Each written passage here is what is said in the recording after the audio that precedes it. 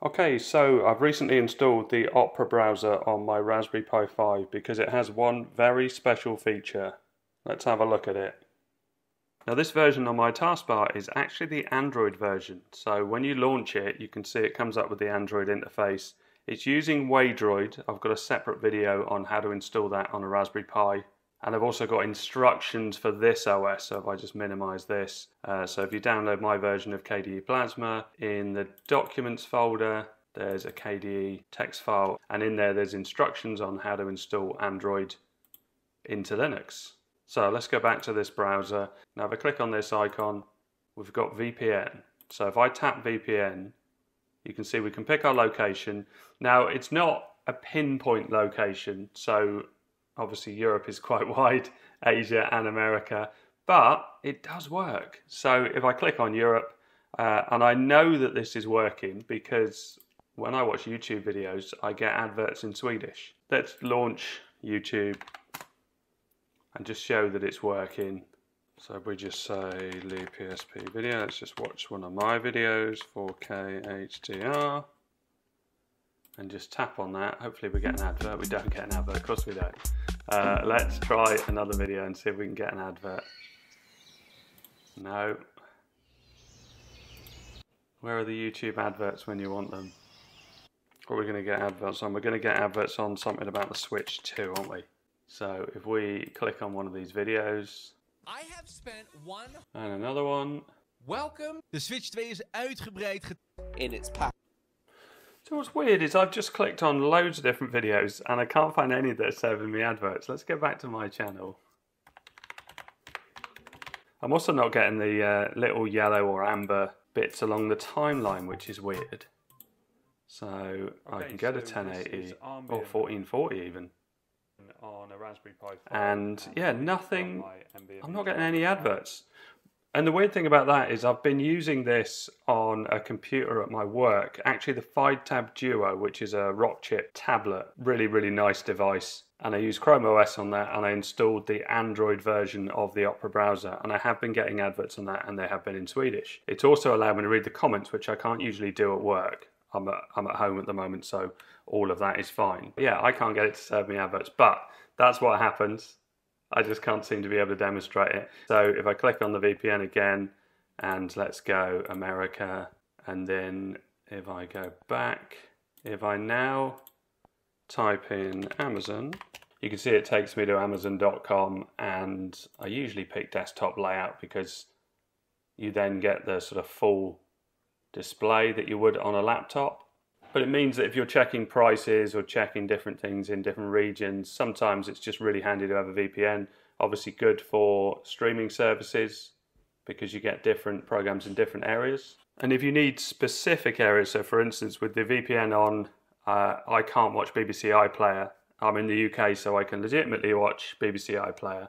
Um, so it doesn't work as well as a paid for one, but the fact that it's free is excellent. So the ad blocking surely can't have been affecting YouTube because I'm pretty sure YouTube uh, override ad blocking, but I wasn't getting any adverts. Uh, I'm not sure. I'd have to look at the uh, one I use at work to see if that's the case on that one. But you can see there's a data saving mode there as well. I did have a lot of trouble installing this, and that's because there isn't a version for ARM based Linux. And I tried all sorts of things. So I did try PlayOnLinux, I tried through Steam, I tried through Lutris, various different methods of getting the Windows version or the standard Linux version to work, and I couldn't get it to work. But the Android version, I just installed it from the App Store. So at the moment, you can see that this is the browser and it's here just as another app that's running on my system. And if I do, say, Task Manager, let's see how much RAM is being used with that open. So this is running Linux and then it's running Android within Linux. Yeah, memory like 2 gig of 16 gig. So it's pretty decent. And the way I installed it, so once you've got Android in there, so if I close down this, but launch Android as a system, so you can see I've got all my apps and everything in here. Again, I've got another video more on this, either in Raspberry Pi OS or in my version of KDE Plasma. So all I did was use the Aptoide store and just did a search for it there. and it will probably show that I've got one installed. I think it was this one, the Opera browser with AI that I installed, not the mini version.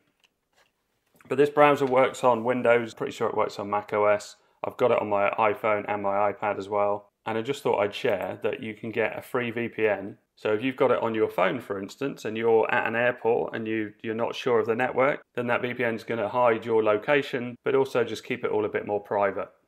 Oh, there's the AI browser in here as well. Look. It's a nice snappy browser, does a good job, and it has a free VPN.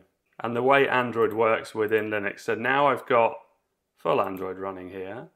So as you can see, I can flick through and I can launch a game and I can come out of that. Oh, that was a message there. What was that message? Let's see what that message won't run without Google Play. Oh, I haven't installed Google Play services, although as you can see, it does work.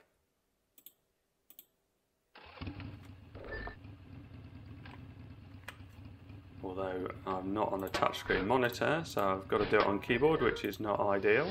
Uh, so if I now press escape, I can quit out of that, and then let's launch something else as well. There's not much on here. Let's go with the Aptoide store. Then if we go back to the desktop and do Task Manager again, still using very little RAM. I have been using this on an 8 gig Pi and it's been working absolutely fine. So let me know what you think. Is the Opera browser going to be useful to you as a browser that has a free VPN? It's certainly been really useful for me because I also use the Flipboard app, uh, which I don't think I've got on here. So on the Fydetab Duo, I've got Flipboard, which just basically links me to lots of stories uh, and sort of things that I'm interested in.